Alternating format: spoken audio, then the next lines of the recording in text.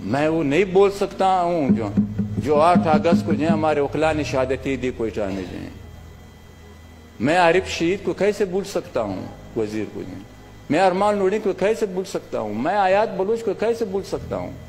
किसी को भी नहीं बोलना चाहिए। किसी भी सियासी कारकुन को जो है नहीं बोलना चाहिए। जिन लोगों ने हमारे लिए कुर्बानियाँ दी है।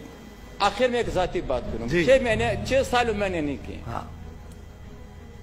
जनाब हमें ये प्रेशराइज कर रहे हैं कि आप जो है डेमोक्रेसी से जो विड्रा हो जाएँ कौमी हकूक से विड्रा हो जाएँ, और आप जो है अपने नज़रियात से विड्रा हो जाएँ। आप जो है जो गैर जमहूरी को होते हैं, वो जिस पे आप तनकीद करते हैं, इस पे खामोशी इख्तियार कर लें।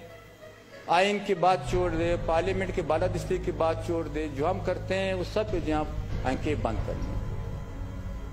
नहीं कर सकता हूँ। बिल्कुल नहीं कर सकता। चाहे मेरी जान चली जाए, मेरी जान इतनी अज़ीज़ नहीं है। ये डेमोक्रेसी और पार्लियामेंट के बारे में अज़ीज़ है। मेरी कौम मुझे अज़ीज़ है, मेरी आवाम मुझे अज़ीज़ है, मुझे सियासत मुझे आज। तो मुझे इशारे मिल रहे हैं, मुझे पैगाम मिल रहे हैं। मैं इस फ्लोर पे जो है, वो ये रिकॉर्ड पे लाना चाहता हूँ।